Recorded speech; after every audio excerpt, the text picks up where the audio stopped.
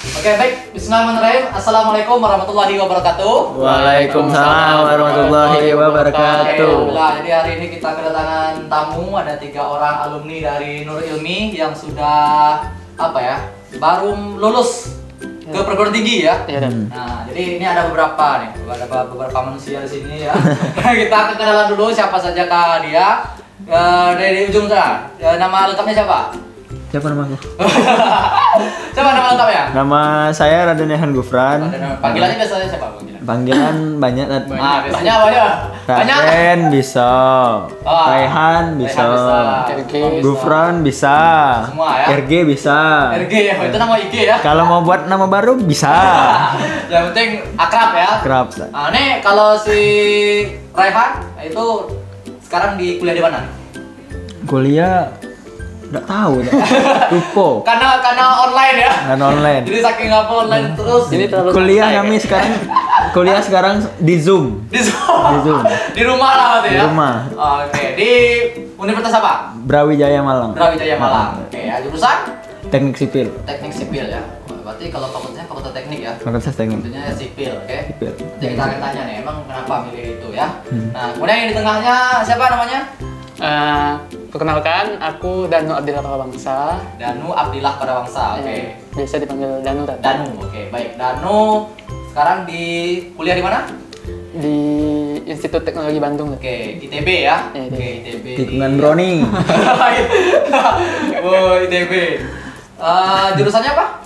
Fakultasnya, Dad. Fakultasnya, fakultas apa? tuh? Jurusan eh, tahun kedua, Dad, ya. Ya. Fakultas Teknik Pertambangan dan Perminyakan. Oh, teknik pertambangan dan perminyakan. Kalau jurusannya belum ya? Belum, dia tahun kedua baru milih. Oh, tahun kedua baru bisa dapat ya.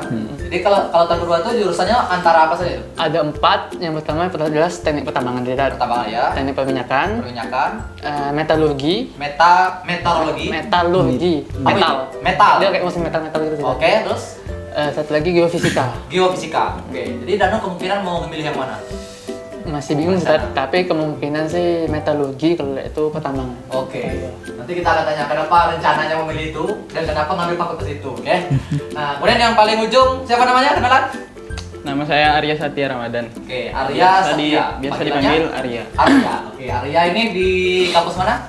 Di Universitas Diponegoro Oke, Undip ya, singkatannya Undip. Di mana itu? Di provinsi mana itu? Di Provinsi Jawa Tengah. Jawa Tengah. Tepatnya di ibu kota Semarang. Semarang. Oke, di Semarang dan ngambil jurusan Jurusan S1 Agribisnis. agribisnisnya. Masih S1 ya. agribisnis ya. Nah, nanti kita akan Langsung tanyakan. S2 nggak bisa. Oh, belum langsung S2 belum bisa ya. Harus lewati S1 dulu. Oke, 4 tahun kemungkinan. ya. Itu paling paling cepat. Insya Allah, Pak tahun. Insya Allah. Nah, baik. Jadi kita sudah kenalan. Jadi nanti kalau ketemu di jalan, ya boleh nanti langsung sapa ya. Ketemu di jalan begal weh. ya nanti eh, ini adalah beberapa alumni Nur Ilmi nanti kita akan tanyakan ya eh, apa yang mereka rasakan kesan mereka selama di Nur Ilmi mungkin sebelum eh, kita tanyakan lebih jauh ya kita tanya dulu lah apa kesan dia selama di Nur Ilmi mungkin pertanyaan pertama ke ke siapa ya ke Danu lagi nah nah apa kesan yang paling tidak dilupakan di selama di Ilmi Kesan ya, Tat, ya. iya Pertama, Danu pengen ucapin terima kasih untuk Ustadz dan Ustazah Nur Ilmi yang sudah dulu ngajar Danu, sudah dan sudah tamat pun tetap ngasih dukungan, motivasi gitu. Jadi kalau Danu sih tipenya eh, ngi- eh, lebih ngingat kegiatan sehari-hari sih, Tat. Jadi kayak datang ke sekolah, Hmm. terus belajar sama kawan-kawan yang cowok semua kan, dulu kan baru pertama kali unik gitu kan, Ah. pokoknya cowok semua, terus siangnya kayak makan pakai ompreng gitu-gitu kayak terus Rame-rame makan ya? gitu makan rame-rame sama kawan Ah. malamnya eh ada juga duha berjamaah eh duha, duha sama-sama gitu Ya. kan terus pulangnya nunggu jemputan gitu-gitu sih tapi ada lah kesan-kesan yang memang keingatnya Hmm. jadi yang pertama itu waktu awal-awal masuk Ah. Nur Ilmi dan itu kan lu kayak agak terpaksa gitu Ilmi Dat. Ah. awal-awal masuk tuh jadi ah, ya, kenapa tuh terpaksanya kenapa paksa karena dulu kan Danu SD-nya apalah hmm, ya Nah, terus dulu eh, sekelas itu dari kelas 2 sampai kelas 6 itu sekelas terus teman-temannya nggak diganti. Jadi ketika tamat, teman-teman tuh banyak yang ke SMP 7, ke SMP 1. Jadi kayak dan tuh kehilangan teman lah waktu itu sempat kayak merasa kehilangan aduh kawan-kawan aku hilang semua gitu kan. Ya, Pergi- bisa. Bisa, sedangkan aku sendirian di Noemi dulu mikirnya kan. Hmm. Masa harus memulai hidup baru lah, memulai cari teman baru lagi. Jadi Iya, kayak iya, belum iya. terbiasa masih, masih waktu itu kan. Jadi waktu itu minta lah ke orang tua setiap, setiap pulang sekolah dulu masih sebulan awal itu mau pindah mau pindah gak betah gitu kan Ah. capek pulang jam 4 gitu kan iya iya iya. ke- kegiatan agamanya banyak gitu-gitu dulu kan belum terbiasa tapi akhirnya ada momen di mana sudah fix sudah mau pindah ke SMP 7 sudah ngurus Seninnya mau pindah, Jumatnya itu sudah pamitan ke teman sekelas. Oh, Jadi sudah pamitan, pindah sempat ya? pamit sudah pamit kayak, Ah. eh aku mau pindah gitu ya, aku mau pindah ke 7 gitu-gitu. Nah, habis itu? Tapi belum sempat eh, pamit ke Ustadz Hero, waktu itu balik kelas. Ah, Ya, balik kelas. Sabtunya rencananya kan, Sabtu masih tutup sekolah, sama orang tua mau pamitan ke Ustadz tapi sebelum pamitan, Ustadz Hero duduk dulu berdua, katanya ngobrol dulu berdua. Hmm. Nanya-nanya kenapa mau pindah, ya, nasihatin lah, sayang lah kalau pindah itu orang tuh sudah bayar mahal gitu-gitu kan. Eh, jalanin dulu mungkin belum terbiasa gitu-gitu gitu-gitu, akhirnya pikirkanlah dulu kata Ustadz itu kan. Terus dan Sabtu minggunya pulang ya mikir kan di rumah, jadi pindah pada gitu kan Kelas 7 tuh ya? kelas 7 Kelas 7. masa satu awal masih sebulan lah awal gitu terus pikir-pikir juga kalaupun pindah ya belum tentu kita sekelas sama teman kita yang kemarin kan waktu SD terus lagian kita pindah sebulan tuh kayak masa lebih baru lagi aneh ada teman yang baru datang sebulan tuh kan maksudnya aneh kan teman-teman Iya. yang SMP 7 nerimanya nanti kayak pikir-pikir lah kasian juga orang tua sudah biaya juga banyak pindah juga butuh biaya gitu kan ternyata Hmm. kayaknya adalah fix aja Ilmi. ternyata memang pilihan yang tepat lah Hmm. jadi banyak hal-hal baru yang Danu dapat di Nur Ilmi Uh, kesan keduanya yaitu lanjut lagi yang masuk kayak osis gitu yang osis osis SMP gitu kan Misalnya kita baru mengenal lah ternyata di sekolah itu bukan cuma kita cuma belajar bukan cuma untuk untuk ilmu eh, eh, nyari nilai gitu gitu kan tapi ternyata banyak kegiatan-kegiatan juga yang di sekolah kan osis di SD belum ada Iya. tadi jadi kayak SMP itu baru tahu oh ada osis gitu Ini kan ketua OSIS itu ya, Danu ya? Alhamdulillah. OSIS, hanya wakilnya ya? Wakil. Oke, terus? jadi baru tahu lah oh ini ada kegiatan sis terus juga ada olimpiade ternyata dia baru tahu kan dulu waktu SD taunya lomba-lomba lu paling cuma LCC Menggambar. atau Menggambar, ya, Gambar. seni ya? atau ranking satu yang ngangkat-ngangkat papan itu kan. Paling-paling itu. Ternyata dan baru tahu baru tahu lah. Ada oh ada olimpiade gitu. Jadi nyoba juga. Jadi di SMP tuh malah ada banyak dapat hal baru dibanding SMA jadi SMA itu sudah merencanakan dari yang SMP jadi kita SMP sudah nyoba semua di SMA tinggal ngerencanain nih mana yang cocok sama untuk lanjutin bukan malah di banyak eksplor bukan di SMA malah di SMP dulu jadi banyak kesan-kesan yang dapat di SMP dan yang paling terkesan sih setiap pagi kalau mau ke sekolah diputar eh, eh, baca eh, eh, lagu-lagu Islami gitu Iya, gitu suasana ya, kayak tenang gitu kan. Kalau di SMA kan nggak pernah dapat lagi di Iya. SMA yang dulu paling lagu Indonesia Raya gitu gitu lagu-lagu nasional tapi Ada kan negeri ya? negeri umum kalau di Novel ini kan Islam jadi suasananya tuh tenang gitu kan itu sih kan kesan-kesan dari Oke, jadi eh, banyak ya kesan-kesannya hampir mau keluar juga, tapi sudah bisa Iya. apa ya menyesuaikan diri. Kalau si ah, Arya, Arya, gimana Arya? Apa kesannya?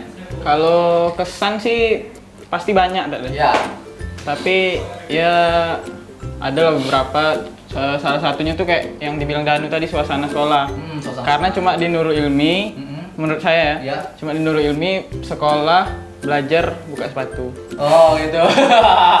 ya, jadi lebih bersih ya sekolahnya, kelasnya.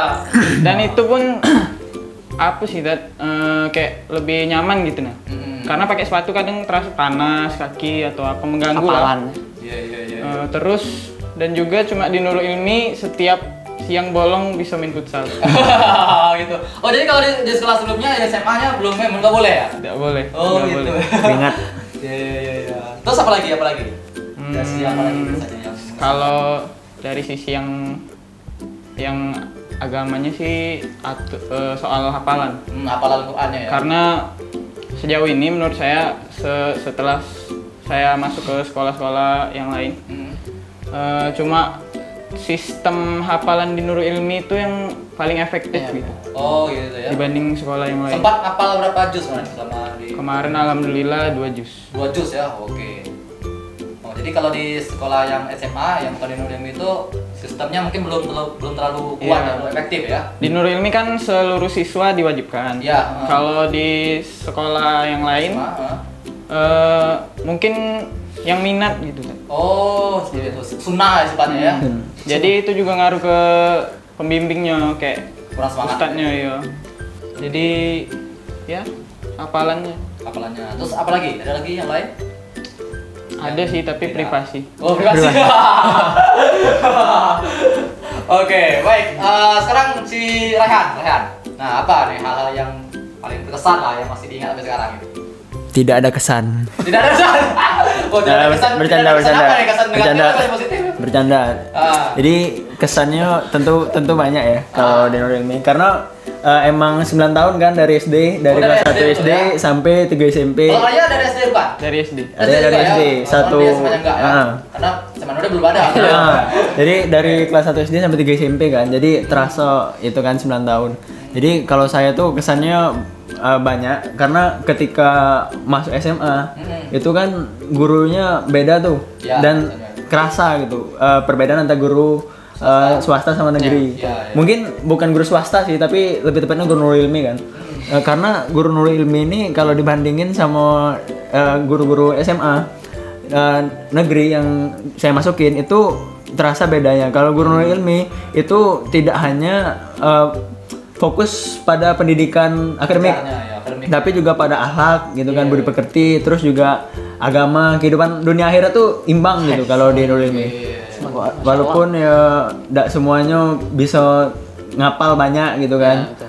Setidaknya di Nurul Ilmi itu kita diusahain lah untuk bisa lebih dekat dengan agama gitu. Walaupun kalau misalnya dibilang Nurul Ilmi itu terlalu islami tidak juga sih maksudnya bisa mengimbangi gitu loh. Eh, di Ilmi kita diajarin tentang Islam tapi juga diajari kayak mana tentang ber jadi warga negara yang baik gitu. Nggak kayak yang Danu bilang tadi kan kalau di Ilmi kita tuh dengar lagu-lagu Islam sedangkan di sekolah negeri lagu-lagu nasional. Nah bukan berarti kalau kita dengar lagu Islam tuh di Ilmi tuh kita tidak nasionalis gitu kan. Kita juga masih diajarin eh, bagaimana jadi warga negara yang baik gitu-gitu. Nah, nah gitu. Terus eh, kesan terbaik nih selama di Nurul Ilmi itu waktu SMP. Eh, ini Ustadz Wasril nih eh, pembimbing saya Olimpiade Fisika dulu Oh, iya, iya. sama Ustadz Romi. Nah jadi eh, bedanya kalau yang saya rasain kalau Ilmi itu emang benar-benar dibimbing untuk eh, mengikuti Olimpiade gitu. Jadi dulu eh, saya sama Danu pernah di karantina DNF juga untuk Olimpiade walaupun Iya, oh, iya. enggak enggak menang. walaupun udah di karantina enggak menang kan. Tapi eh, itu kegagalan tuh bukan eh, suatu akhir gitu. Jadi Iya. walaupun pernah gagal di Olimpiade sebelumnya, Guru Nuril itu tetap ngaju- nganjurin, nyaranin untuk tetap ikut Olimpiade gitu. Nah, alhamdulillah di Olimpiade selanjutnya tuh bisa juara dua di kota, terus eh, juara satu di provinsi dan itu benar-benar berasa kayak Guru Nuril itu eh, benar-benar dampingin kita dari awal perjuangan sampai akhir gitu. loh. Jadi emang Guru Nuril itu the best lah. Tapi Dari segi akademik, ya? Heeh. jadi jadi menang Olimpiade itu ke Singapura. nah ini guru pembimbingnya. Yang dulu juga yang pakai mehan itu tak ya? Heeh. Oh, yang kemarin tuh kita ke Bengkulu ya. Iya, Jadi jadi sama Azmi tadi tak ya? Iya, jadi betul ya. saya sama Danu tuh dulu pernah diajakin ini perkemahan ilmiah remaja nasional 2016 ke Bengkulu. Jadi ketemu sama seluruh ini pelajar dari Indonesia. Nah itu salah satu yang berkesan sih sama Ustadz Wasril juga. Jadi Wasril. bisa dibilang eh, ikatan eh, antara guru dan siswa sama eh, Nurul Ilmi itu udah kuat gitu. Apalagi saya sama Ustadz Wasril Danu gitu-gitu. Itu anak-anak event tuh pasti tahu lah gitu. Gimana guru Nurul Ilmi itu ingin mengembangkan potensi siswanya terus emang kayak nganjurin gitu tuh untuk terus berprestasi gitu. Mungkin itu sih Itu ya. banyak kesan kesannya sih kalau misalnya disebut. Itu dari segi akademik. Jadi ya, memang kalau untuk lomba-lomba, insya Allah kalau ini apa pendampingannya memang maksimal. ya. Nah, Karena emang itu nanti akan jadi nilai jual juga. Kalau Raya ini banyak ke futsal ya dulu ya. jadi udah ketemu sama guru fisikanya. Ini emang akademik ya, lebih ke akademik, tadi lebih ke kinestetiknya. Nah, sekarang kita masuk ke tentang dunia perkuliahan. Wah, ya sekarang kita tanya ke Arya. Kenapa pilih eh, di Undip? Kalau pilih di Undip se- sejak SMP kan punya kakak sepupu. Oh iya. Ma- lulus di Undip Oh. waktu kelas 2 SMP masih saya masih kelas 2, si- 2 SMP jadi kayak di- Termotivasi? ya termotivasi gitu karena kakak juga cerita ceritain ini gini gini gini soalnya dan juga di situ ada keluarga Oh iya. Ya, keluarga masih keluarga dekat Ya. jadi ya itu sih alasannya Jadi tinggalnya nanti di keluarga itu nanti ya rencananya ya. Oke, terus kalau ngambil jurusan kan jurusannya agribisnis ya. Hmm. Nah, alasannya apa? Ada Kalau soal jurusan S- dari SMA itu bisa dibilang pelin plan. Limlah. Oh, emang kenapa tuh? Emang Dulu- emang ya mayoritas siswa tuh agak sulit sih nentuin jurusan gitu kan. Nah, itu gimana ceritanya kalau agribisnis? plain plan dan dulu nggak pernah kepikir agribisnis Oh, jadi eh, ini pilihan yang berapa?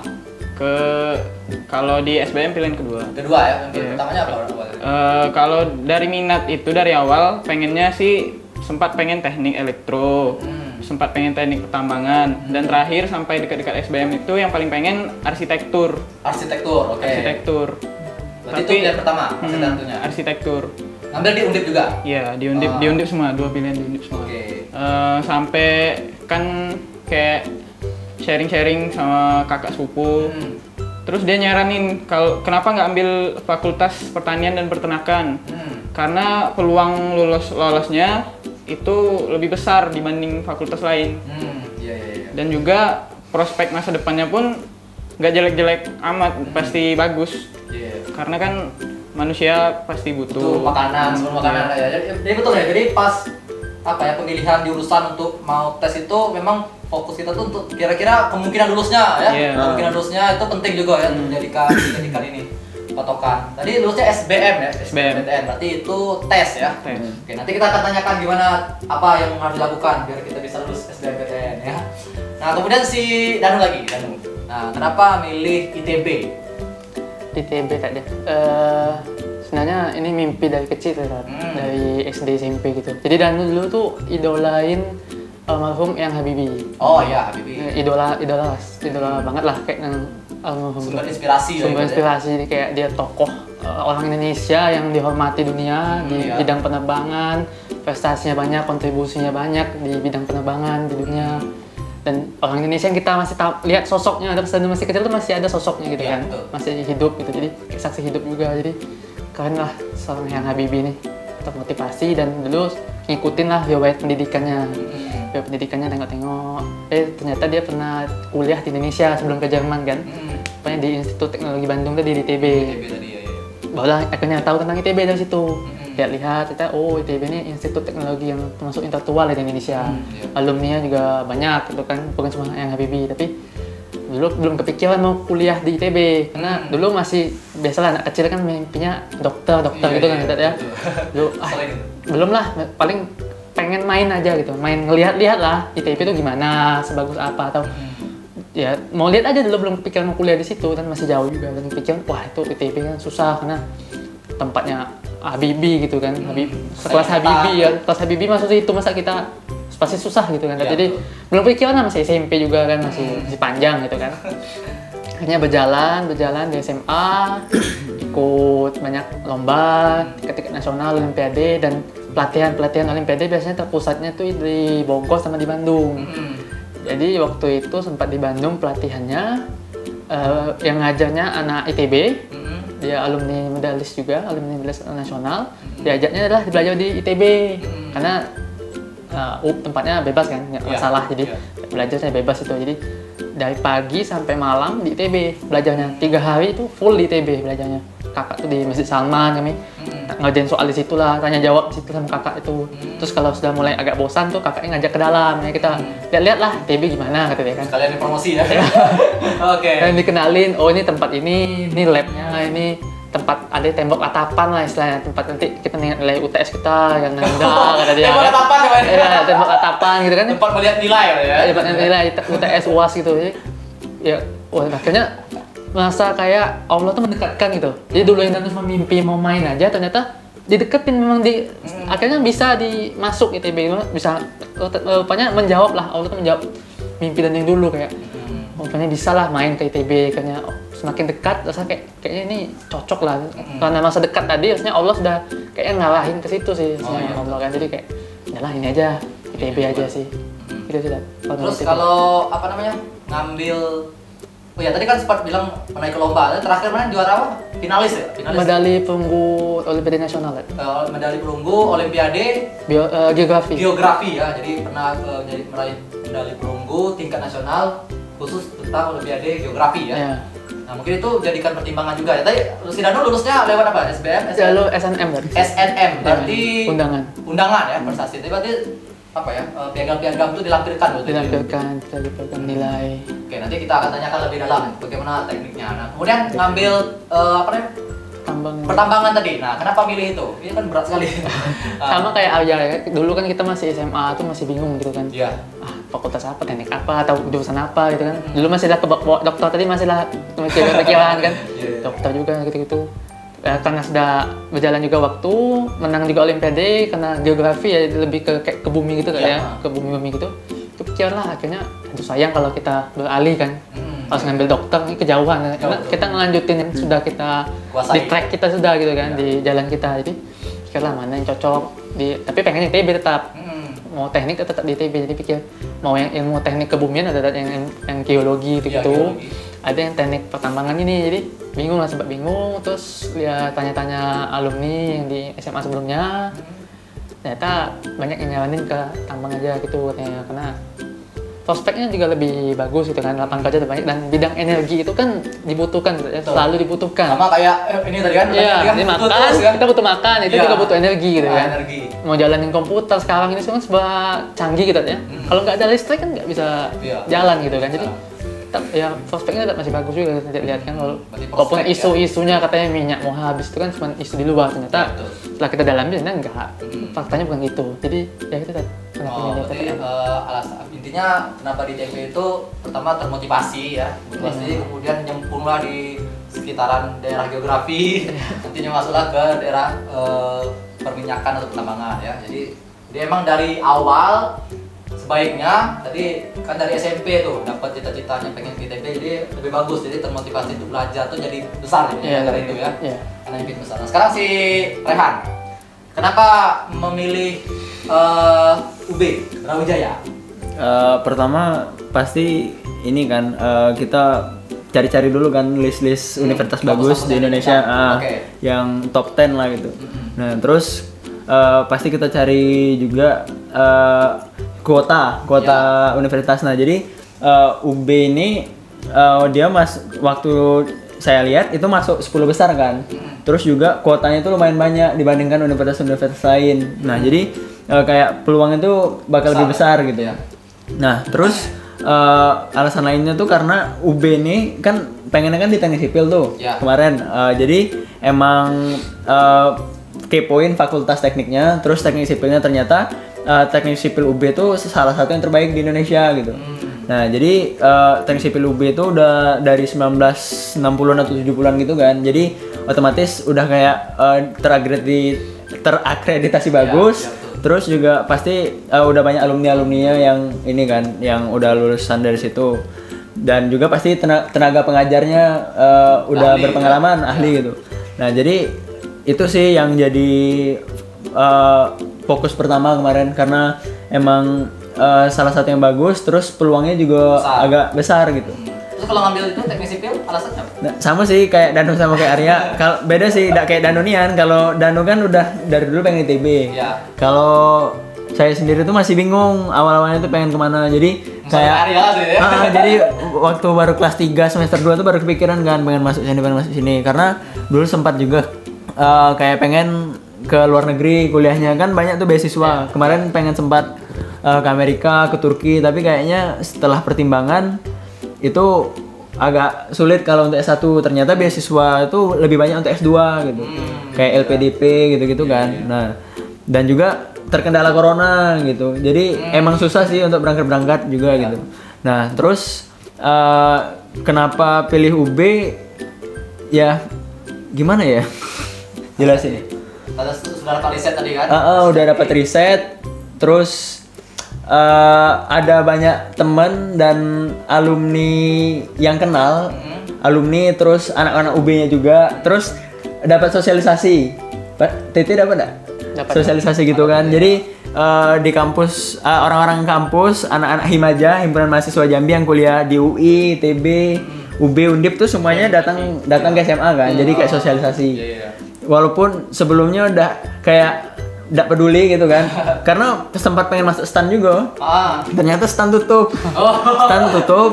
Berita. ah ndak buka. Jadi kayak mikir gimana sih milih universitas. Karena sebelumnya fokusnya ke stand ndak mau kayak kuliah gitu. Jadi ketika stand tutup itu kayak kelabakan kan nyari wah universitas mana nih universitas mana? Gitu. nah jadi eh, sempat minta saran sama orang tua eh, bagusnya yang mana, terus peluangnya yang bagus ke mana. Nah akhirnya sih pilih UB. Hmm. Terus kalau teknik sipil ini kenapa? Eh, kalau teknik sipil karena eh, gimana ya?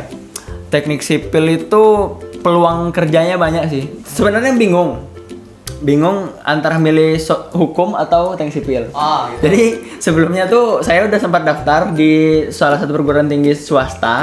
Itu hukum. Oh. Udah daftar, udah keterima. Ah, terus? konsultasi lagi sama orang tua kan.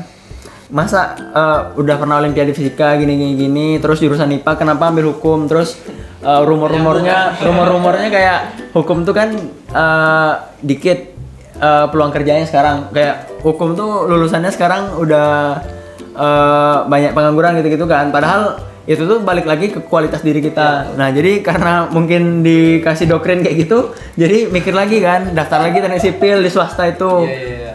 Daftar di swasta eh, lulus. Hmm. Tapi kan masih bingung juga tuh karena harus kayak mikir cepat gitu kan, milih teknik sipil atau yang lain gitu.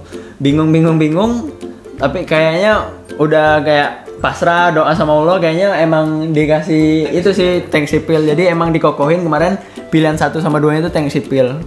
Jadi rencananya oh, bu- bukan karena cita-cita ya atau gimana itu? Cita-cita sih masih pengen jadi pebisnis. Oh iya. Mas, iya. jadi pebisnis tapi nanti mungkin di bidang eh, properti ya, Ya, properti atau iya. nanti jadi kontraktor. Pokoknya yang berhubungan dengan teknik sipil kan bisa. Oke. Tapi ya lihatlah jalannya ke atas. Yang penting- Serahkan kepada yang di atas. Iya, yang penting jalan dulu ya. Jalan dulu. Nanti insya Allah dapat Iya. kalau dapat pengalaman, dapat kawan nanti link di pas kuliah, insya Allah bisa lebih lancar lagi. Nah, usaha aja dulu. Hmm. Nah sekarang kita ke ini tips lah tentang bagaimana bisa lulus di perguruan tinggi. Nah, terutama untuk yang kelas 12 itu kan sangat butuh sekali Hmm. tips yang mana tahu mereka tuh sangat butuh sekali tapi mereka tidak tahu. Nah sekarang si Danu dulu lah. Uh, karena dia eh, kan SBMPTN, ini SNMPTN, ini SBMPTN. Nah, kita Hmm. sekarang fokus ke SNM dulu. Kira-kira apa ya yang harus kita persiapkan? Kira-kira menurut Danu ya, kira-kira orang bisa lulus di SNMPTN itu apa yang dinilai ya? Jadi eh, setelah Danu lihat-lihat, setelah lihat alumni gitu itu ada yang nggak lulus, ada yang lulus gitu kan Iya. itu bandingin lah apa sih yang indikator yang buat mereka bisa nggak lulus atau Iya, nggak lulus. betul. Jadi yang pertama jelas nilai kita kan. Nilai, oke. Nilai kita semester 1, semester 5 itu kan dilihat. Hmm. Eh, ada isunya yang kalau anak IPA yang dilihat mapel UN-nya IPA, seperti fisika, kimia, biologi gitu-gitu. Nah, itu dilihat eh, grafiknya meningkat atau stabil. Oh, berarti tergantung juga ya. Kalau stabil, stabil eh, dibanding eh maksudnya daripada kalau turun kan pasti jelek penilaiannya Ya, kan ya. betul, betul, iya. Jadi daripada kalau nggak meningkat minimal stabil lah nilainya itu. Nggak turun naik lah. iya iya. iya. Tapi lebih bagus lagi meningkat nilainya. Meningkat, tadi. ya, itu yang Meningkat, utama ya, Setiap oke. semesternya naik, naik, naik. Nah, itu nilai. Tapi nilai ini punya interpretasi masing-masing. Jadi Hmm. maksudnya kalau nilai 90 di Jakarta sama nilai 90 di Jambi kan pasti jelas beda kan Beda. Dad, penilaiannya Dad, ya Iya. pasti lebih lebih dilihat yang di Jakarta gitu ya lebih sulit lah istilahnya dapat Iya. 90 di Jakarta kalau Jambi kan mungkin mereka lihat lebih mudah gitu dapatnya kan dan juga eh, beda provinsi juga beda SMA aja juga bisa beda beda juga dat misalnya penilaian. akreditasi yang A sekolah yang SMA akreditasi A akreditasi C itu beda beda juga lihat nilainya tadi ya jadi nilai ini nggak bisa jadi pedoman utama atau misalnya kita yakin banget nilai kita ini bakal lolos Iya. Karena nilai ini paling cuma kayak syarat awal aja sih sebenarnya Ah. bukan pembeda kita yang buat bisa kita lulus Hmm. Misalnya kalau sudah rendah ya pasti dia dia kalah kan Iya. tapi kalau nilainya tinggi dilihat lagi Iya. indikator selanjutnya Nah, indikator selanjutnya. Kemudian kemudian indikator selanjutnya itu ya prestasi kita prestasi di luar di Akademik. di luar di akademik dan di luar akademik gitu Oh, gitu, ya iya. misalnya ya, di olimpiade di olahraga di seni gitu dilihat atau di ikut-ikut organisasi apa gitu mungkin ada sertifikatnya gitu Iya, kan iya, iya. Dan itu juga dilihat tingkat-tingkatnya tingkat kota tingkat provinsi. provinsi tingkat nasional itu dilihat pasti beda-beda penilaiannya Dad, ya Betul. Eh, juara-juaranya juga juara satu, juara dua, juara tiga itu kan pasti juga beda-beda juga penilaiannya. Pertimbangannya ya. Nah menurut Danu kalau SNMPTN itu pasti ngeliat eh, lihat prestasinya itu yang biasanya yang diadakan Kemendikbud Hmm. atau organisasi atau suatu penyelenggara yang bekerja sama sama Kemendikbud. Iya, iya, iya. Karena kan dia di bawah naungan Kemendikbud Kemendikbud. Dikti kan Iya. SNMPTN itu kan. Jadi pasti dia mau lihat yang yang diadakan dulu kan dibanding yang diadakan universitas atau diadakan Oh, pihak iya. pihak luar lah dibanding di luar Kemendikbud. Jadi dia pasti yang utamanya yang pasti Kemendikbud dulu. Berarti meskipun dia sebagai finalis itu kemungkinan besar bisa ya. Bisa ya, bisa. Finalis kan? Bisa finalis. Nah, gitu. Oke. Kemudian apa lagi tuh? Kemudian indeks sekolah. Indeks, Indeks sekolah, sekolah. ini kayak prestasi sekolahnya udah satu Oh, tahun iya. gimana. Banyaknya alumni yang diterima di universitas negeri di, berapa banyak. Banyaknya alumni juga di fakultas dan eh, universitas yang dia tuju. Itu banyak pasti ngaruh sih karena nilai sama prestasi kan itu di luar penilaian apa? Maksudnya yang bisa dinilai langsung, bisa dilihat langsung sama universitas kan alumninya. Iya, betul. Kalau nilai sama prestasi kan dia nggak tahu di SMA, misalnya SMA nya di si individu. Tapi kalau alumni dia bisa lihat prospeknya alumni dia gimana, bagus gak nilainya, eh, prestasi nggak di kuliahnya gitu kan. Jadi bisa nilai langsung. Nah, jadi itu termasuk hal yang paling penting lah alumni. Jadi alumni kalau dia bagus di situ, prestasinya bagus, itu nilai tambah bagi calon adik kelasnya yang mau Iya. SNMPTN. Tapi kalau alumninya bolos atau di DO malah, Iya. itu malah jadi nilai buruk bagi Iya, alumni ya. iya, Jadi iya. bagi yang mau SNMPTN harus banyak-banyak lah cari tahu alumni. Tapi kalau bagi SMA yang belum punya alumni, pas, berarti yang dinilai utama. Jadi yang prestasi menilai. Iya. Itu pasti bakal lihat paling banyak poinnya di situ dilihatnya.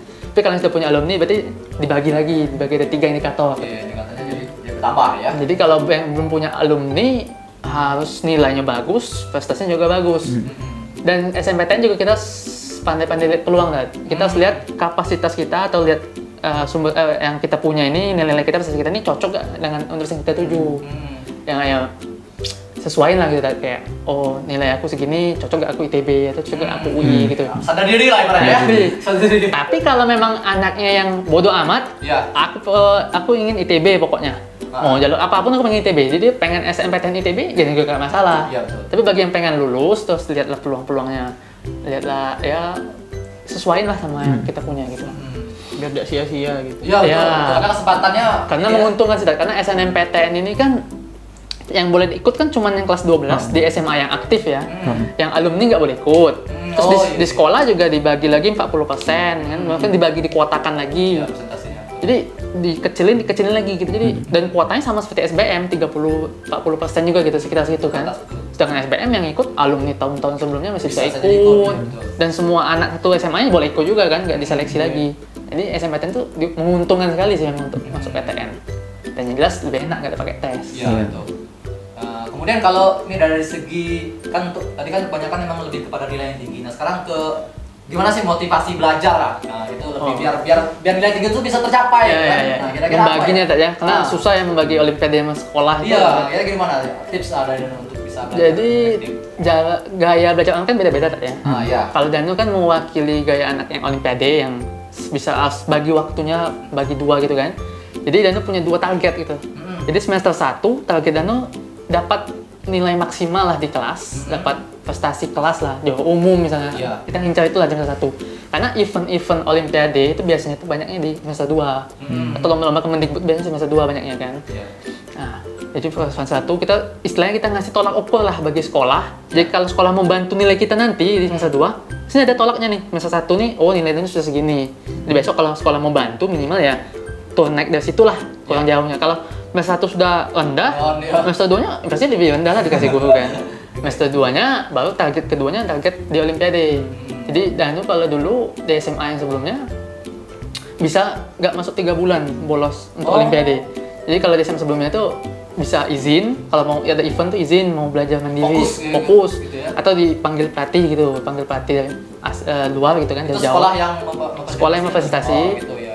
Jadi kita nggak surat izin masuk dua minggu nanti seminggu sekolah lagi dua minggu lagi nggak masuk. Hmm. kalau total total bisa tiga bulan. Jadi kan nggak efektif belajar kita Iya, ya di iya. kelasnya. Makanya mending lepas aja di kelas Eh, di kelas paling kalau kita masuk kita ngelengkapin lah tugas-tugas kita yang rasanya ketinggalan. Iya, iya. tapi mau fokus di sekolah tuh kayaknya nggak mungkin lah. Kayaknya pasti kita berat lah kan sudah tiga bulan nggak masuk. Jadi nah s- karena kita sudah ngebanin di sekolah kita harus maksimal tuh di olimpiade Betul, iya. karena kan kalau kita terbagi dua malah nggak maksimal di olimpiade yang ya. ini malah dapat apa-apanya ya kita harus fokus ya target kita juga harus tinggi di situ kan biar kita motivasi lebih tinggi nah, dan kayak itu terus eh, kelas 10 gitu juga kejadiannya semester satu fokus di kelas semester 2 fokus olim di kelas 11 juga gitu semester 1 kelas semester 1 fokus di kelas semester 2 fokus di olim Kalau di semester apa semester satunya gimana prestasinya gimana? Nurun atau alhamdulillah masih di atas? alhamdulillah sempat juara umum juga 1 Juara umum ya. Jadi dan ini emang di SMP juga sering juara umum ya kan? umum. SMP Nurimi juga sering juara umum ya. Ini saingan sama Layan Gubron. Cuma beda kelas mereka nih, nggak boleh disamain.